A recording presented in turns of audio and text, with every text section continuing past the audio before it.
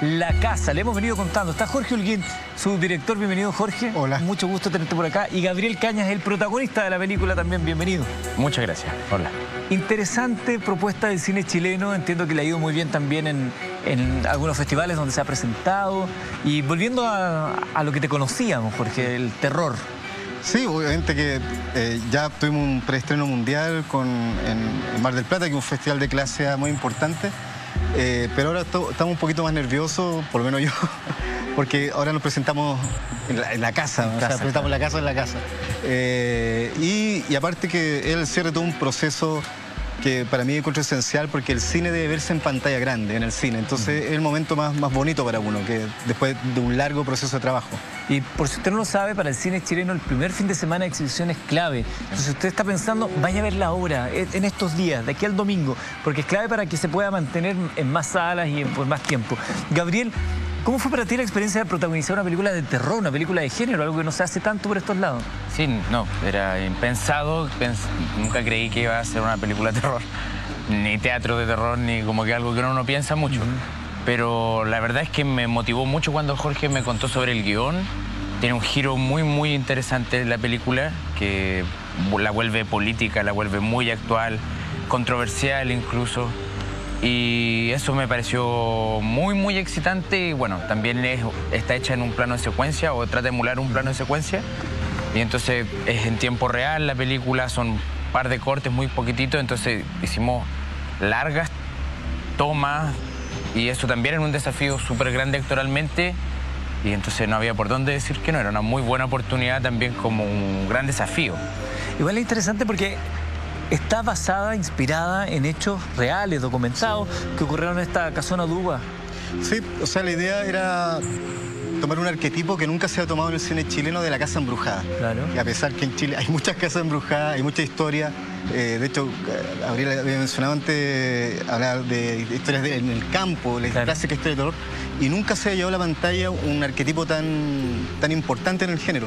Eh, para eso decimos con, con Carol, mi productora, comenzamos a buscar diferentes casas embrujadas en Chile y llegamos a la casona Dubá, que es una casona que está en Quintana Normal, ahora es un, muy bonito centro cultural, abierto a la comunidad, pero por mucho tiempo estuvo abandonado y, afectaron un poco la comunidad por sus historias terroríficas ahí dentro y por sus orígenes, porque esta película, o sea, esta película, La Casa, original, eh, fue construida por un arquitecto, o un ingeniero, perdón, que es Andrés Dubá, de ahí proviene el nombre, que vino de Francia para construir el sistema de, de- de luz a gas en ese tiempo, a principios del siglo XX.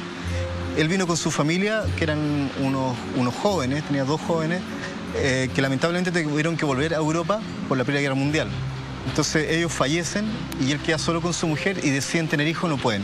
Y, y ahí habla la ley. Y ahí aquí donde, se mezclan los mitos y las leyendas, se dice que eh, ellos comenzaron a hacer magia negra y a partir de eso construyeron unas, unas esculturas muy siniestras, una especie de monstruo o quimeras en, en los patios de, de esta, de esta casa que asustaron a todos los vecinos y que eso que provo- provocó que ellos tuvieran un niño deforme.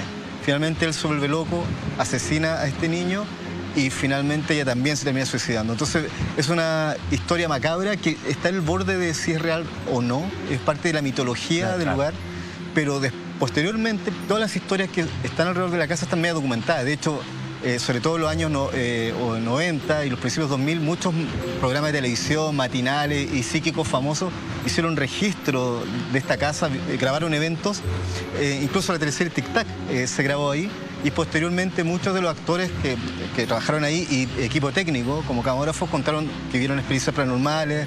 De hecho, se cuenta que hasta hubo un, un fallecimiento que se le atribuye a la casa. ¿Y ustedes filmaron en la casa? Sí, filmamos en la casa. ¿Y les pasaron Sí, o sea que, ¿Tu- que ¿Tuvieron visitas desde el más allá? contar un secreto de la casa. La película es un plano real, en una, en- o sea, un Una sola tiempo real, toma. una sola toma, un plano secuencia. Pero como nosotros nos ambientamos en los años 80 la casa y la casa ahora está, está transformada, sobre todo el interior, solamente grabamos la fachada de la casa que se mantiene hoy.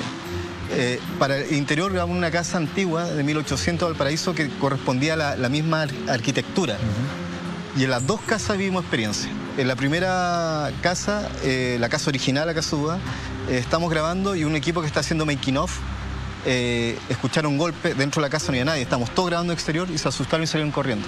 Ah, mira. Eso, eso fue, bueno, puede ser parte de que están todos de alguna manera Claro, irritados con la será película. sugestión, será, pero, pasó. Pero en la segunda parte, en la segunda, en la segunda casa, también eh, no nos dimos cuenta que había una plaquita eh, en, el segundo piso de casa donde eh, se decía que había fallecido una mujer. Y después nos enteramos que la dueña de casa se había suicidado y la nieta también. Entonces era un tema muy fuerte. y una de las actrices que acompañaba a Gabriel, que, que hacía de una entidad paranormal, no pudo hacer la película, se vio afectada eh, y tuvimos que parar el, el rodaje con ella. Entonces eso fue muy fuerte, fue una, una experiencia que ella no estaba actuando, no lo estaba haciendo, ella una actriz profesional, por lo cual eh, fue para todos muy impactante ver cómo ella sentía que algo le estaba afectando emocionalmente y no podía hacer la escena.